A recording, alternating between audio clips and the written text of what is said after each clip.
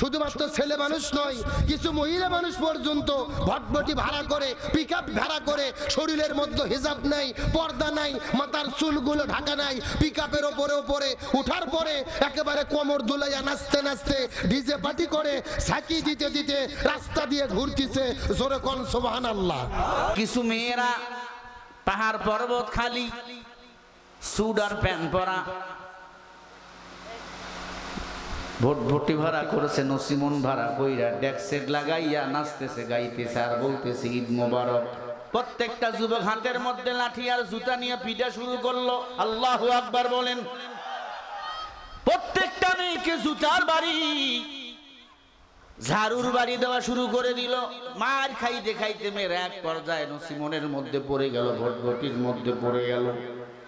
আল্লাহর এক বান্দা আবার ভিডিও করে এইটা ফেসবুকে দিছে। এক পর্যায়ে এলাকার মানুষেরা বলল, দেখো এরা যে অপকর্ম শুরু করেছিল, এরা আমার বাংলাদেশকে আমেরিকা বানাইতে চেয়েছিল। শুধুমাত্র ছেলে মানুষ নয়, কিছু মহিলা মানুষ পর্যন্ত ভটভটি ভাড়া করে পিক ভাড়া করে, শরীরের মধ্যে হিজাব নাই, পর্দা নাই, মাথার চুলগুলো ঢাকা নাই পিক আপের ওপরে ওপরে উঠার পরে একেবারে কোমর দুলাইয়া নাচতে নাচতে ডিজে পার্টি করে সাকি দিতে দিতে রাস্তা দিয়ে ঘুরতিছে, জোরে কোন সোবাহান আল্লাহ কি? এ জোরে কোন, নাউজুবিল্লাহ। তাহলে চিন্তা করে দেখেন মুসলমানের মেয়ে, মুসলমানের বোন ডিজে পার্টির নাম করে পিক আপ ভ্যান ভাড়া করে, ভটভটির ওপরে যারা নাচানাচি করেছে, আমার তো মনে বলে এরা মানুষের বাচ্চা নয়, এরা হলো বান্দরের বাচ্চা। এ কথা কন না কে? আপনারা লক্ষ্য করে দেখবেন চিড়িয়াখানায় যারা গেছেন, বান্দর যেই ভাবে লাপায় এরা কিন্তু ভটভটির উপরে একই ভাবে লাপায় এ কথা কোন। কিন্তু কিছুক্ষণ পরে আমার মনের মধ্যে বড় আনন্দ হলো। কারণ কি?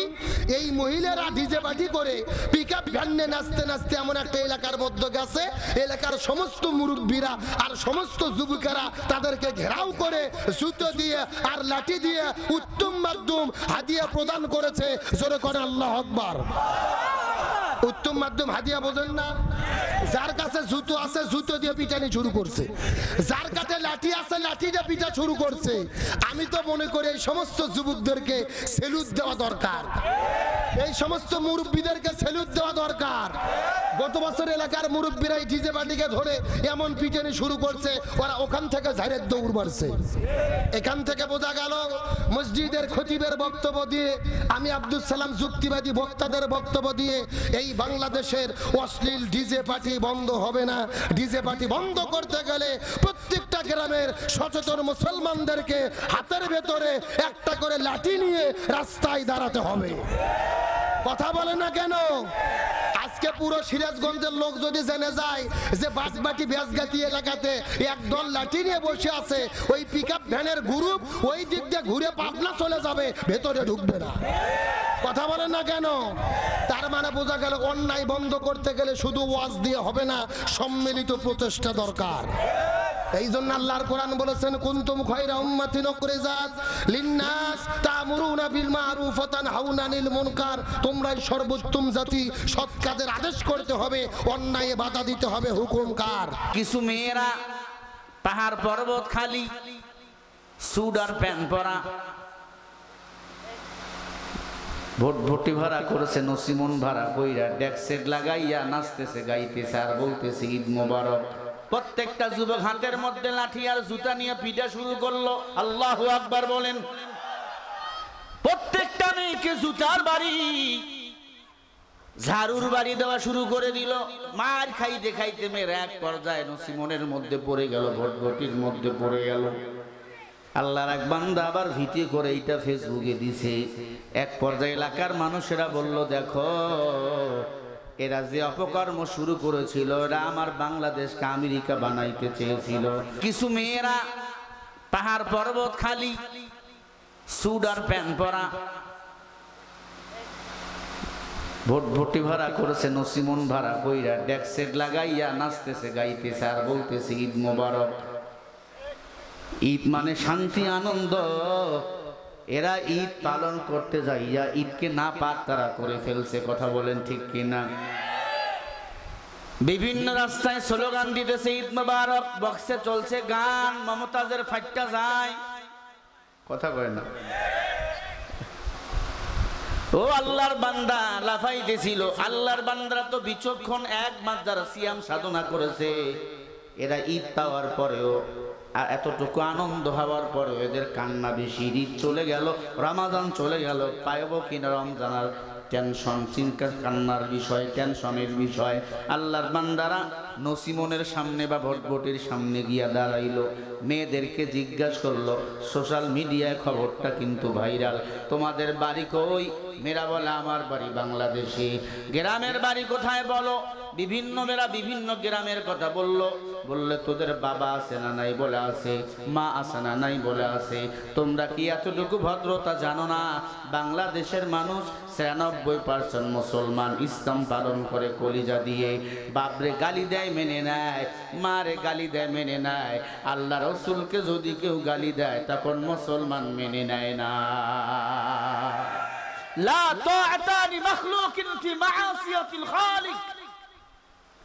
আল্লাহ বেজার করে দুনিয়ার কোন আনুগত্য করা হারাম, ঠিক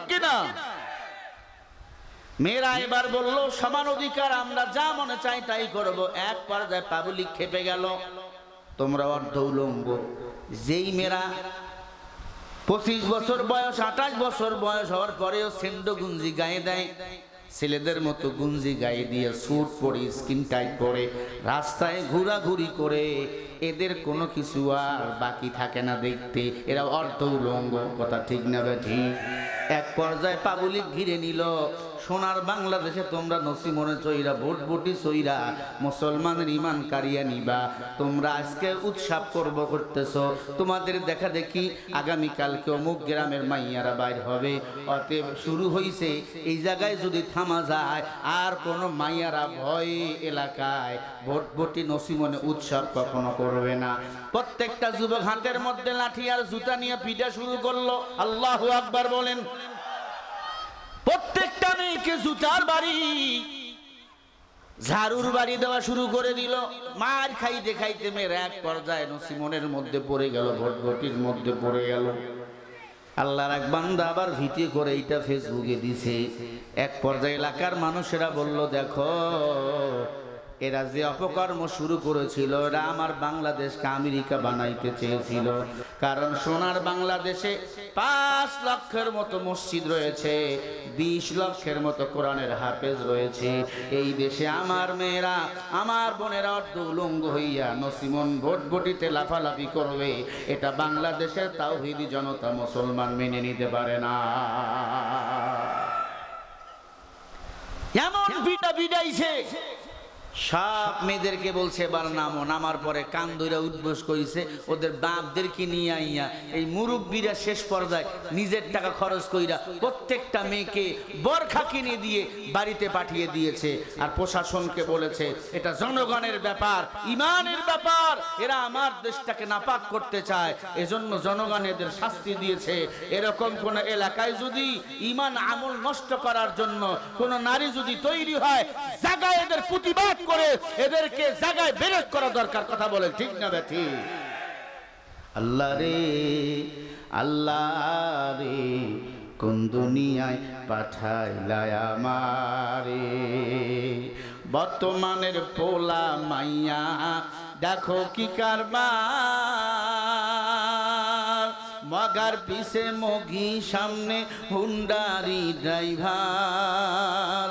আল্লাহ রে কোন দুনিয়ায় পাঠাই লায়ামারে বর্তমানের পোলা মাইয়া সমান সমান মান, লম্বা চুল কাটিয়া মাইয়া মাথায় লাগাই কেম? আল্লাহ রে কোন দুনিয়ায় পাঠাইলা আমারে? জিন্সের সুদ শার্ট পরিয়া, রাস্তায় হেঁটে যায়। পোলা না মাইয়া, এটা চীনা বড়দা ঠিক বলবেন না? কথা ঠিক নেই?